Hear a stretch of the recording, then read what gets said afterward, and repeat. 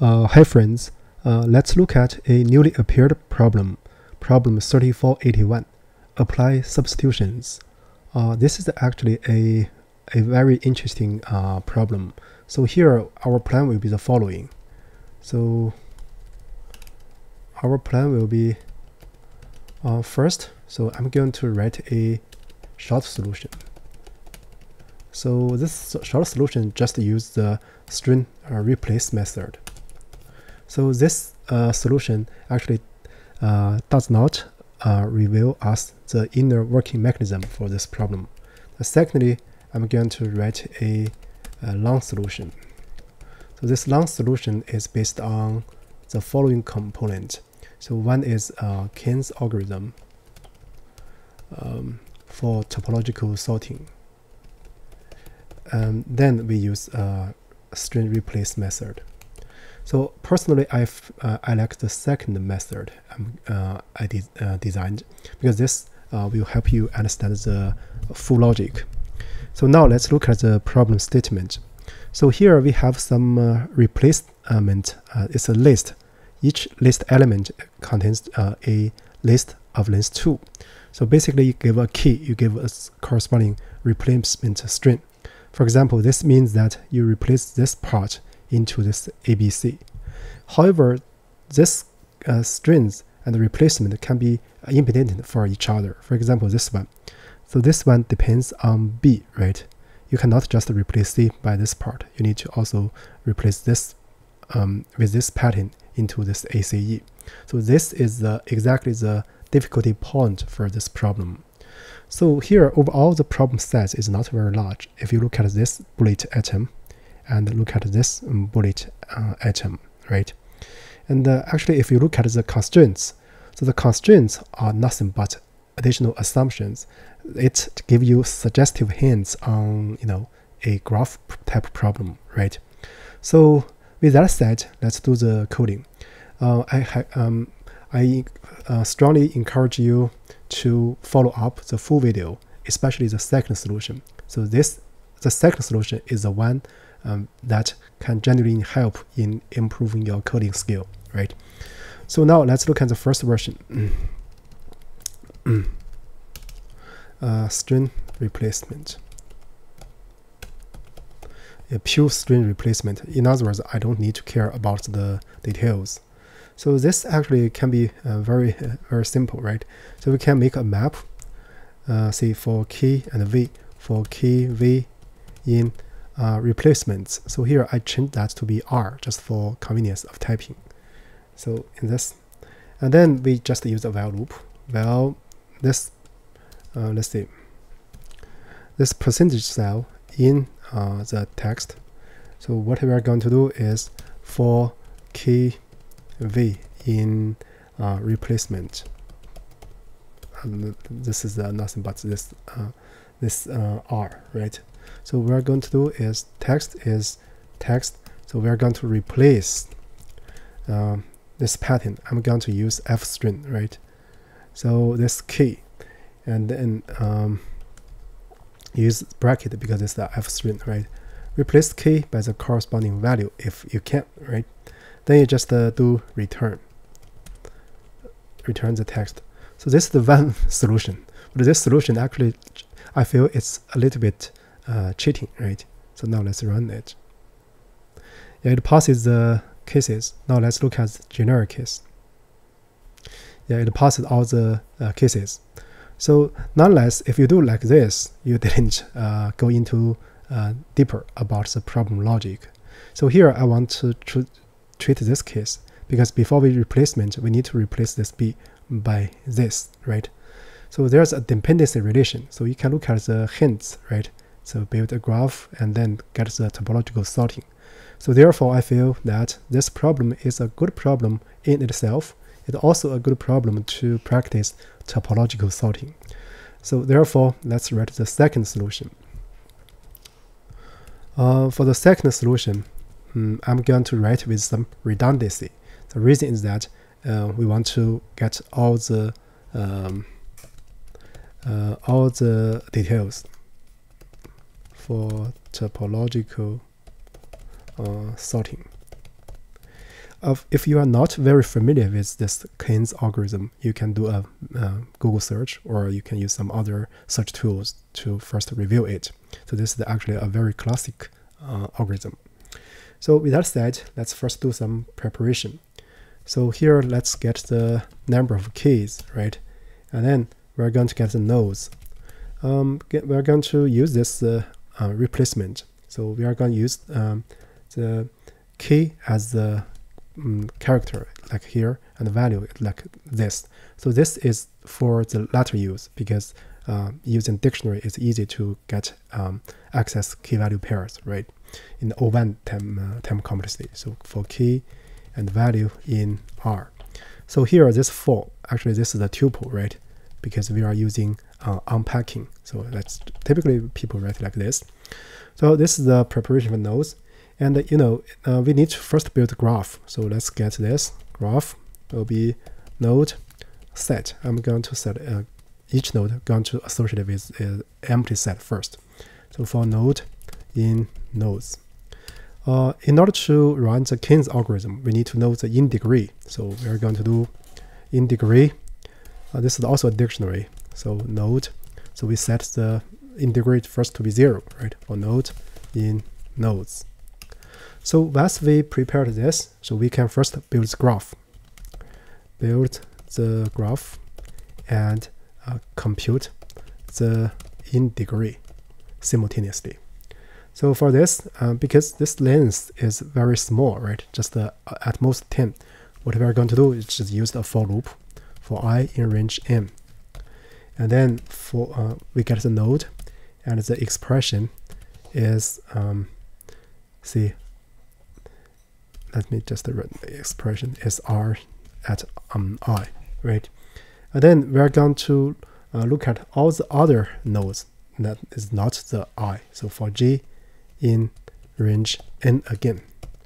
So as long as g does not equal to i, we're going to check if there are some dependencies like uh, given in this example. For example, c depends on b, right?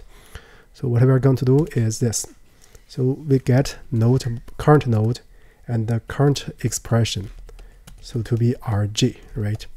Then we check if such things happen, right? So what we do is uh, this. So we check the placeholder. The placeholder will be something like this. We have double uh, percentage mark and then the node, right? So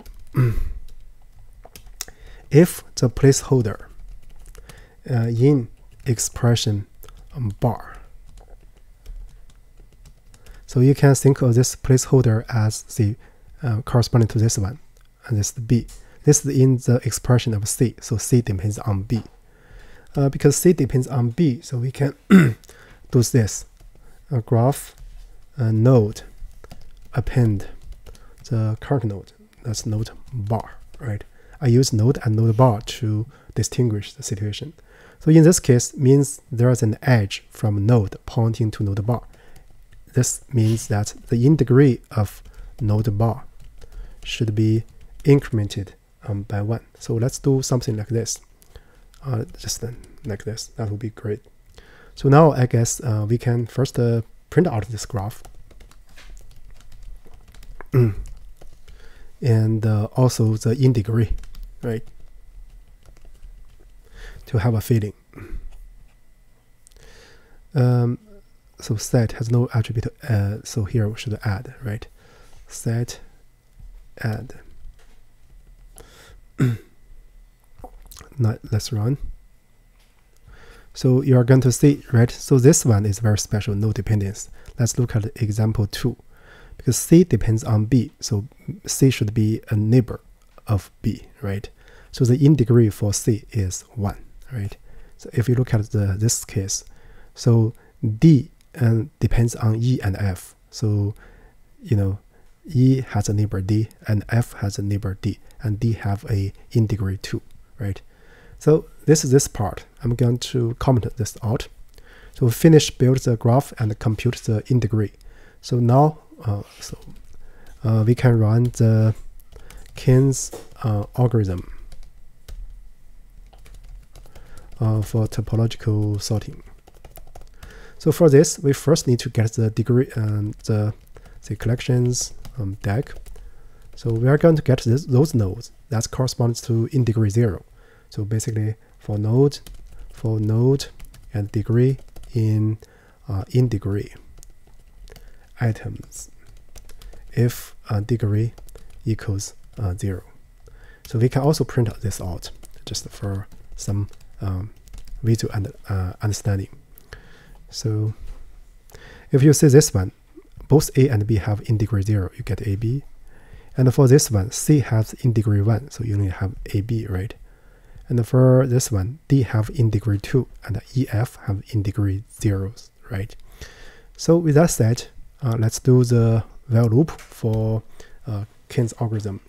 So we have, uh, let's use tuple order to store the topologically sorted uh, nodes. And then we have a set called visited to avoid repetition. And then while queue, So let's first get the node as q pop left, right? Then we are going to check if node not in visited. So what we are going to do? First, we are going to add this top order, append this node. And also we visited add this node, right? Then next time, next thing is to uh, check the neighbor. So for neighbor in graph node, right?